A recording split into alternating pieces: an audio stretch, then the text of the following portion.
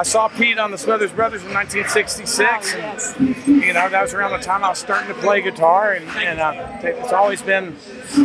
I've never, as a musician, I've never known not, not known who Pete Seeger was. So, so I've never, known, I've, it never occurred to me that activism and music didn't go together.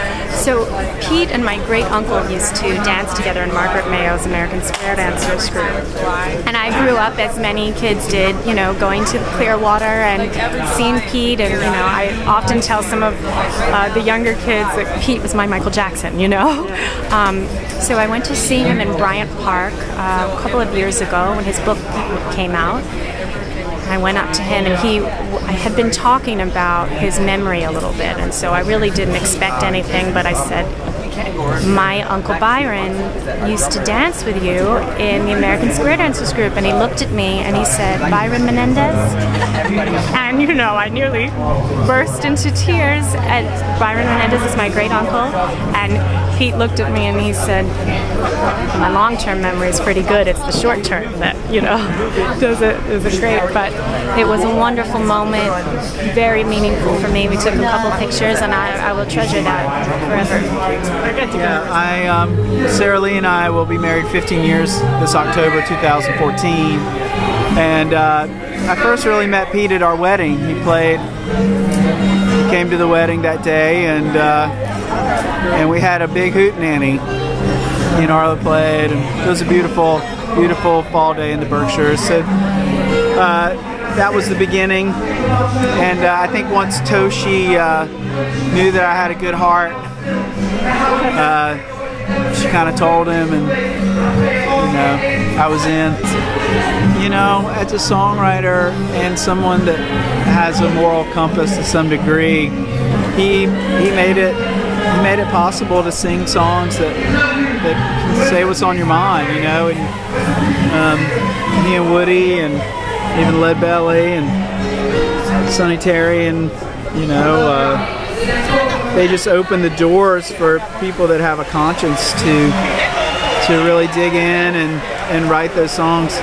Um, so it's a flagship, you know. You know, when I came up in high school and we played, you know, Rusted Roots started out playing benefits and pretty much like potluck dinners, like that was our tour of Pittsburgh, you know. We had probably like two or three shows a week, you know, and but Pete Seeger was this uh, kind of uh, I don't want to say a, like a like a deity in a way, you know. He was he was talked about, but we were so young that we didn't really know that much about them.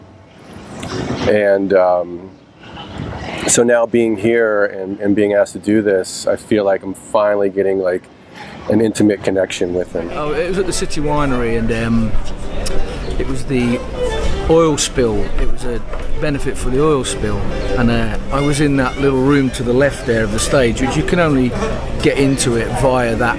There's no way in or out. You just can only go in in there.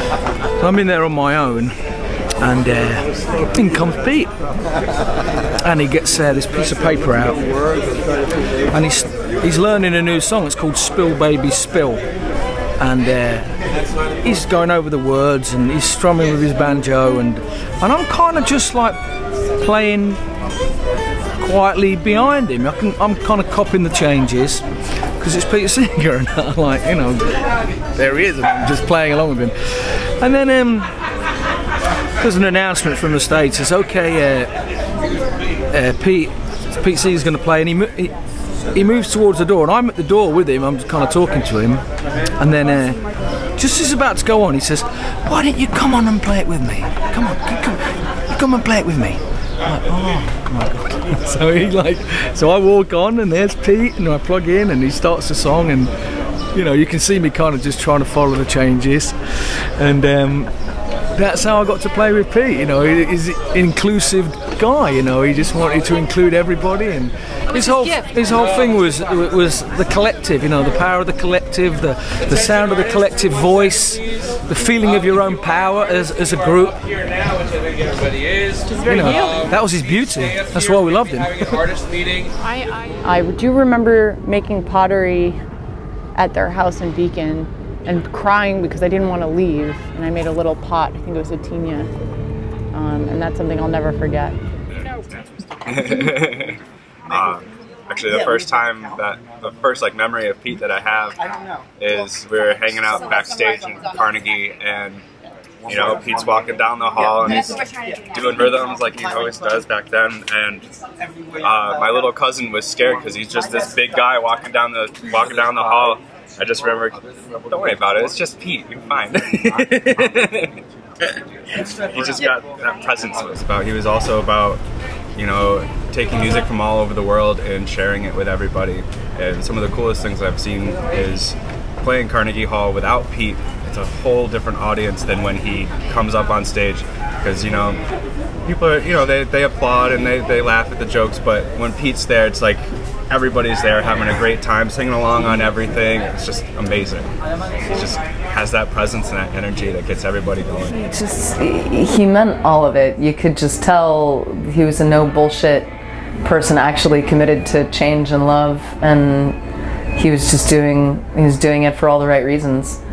You know, I have a lot of friends doing it all for the right reasons, and we all know that we're all imperfect. I don't think anyone thinks that Pete Seeger was a perfect person, but his message looked perfect.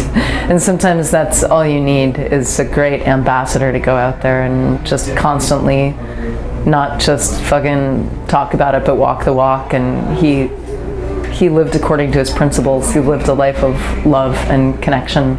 It's so impressive.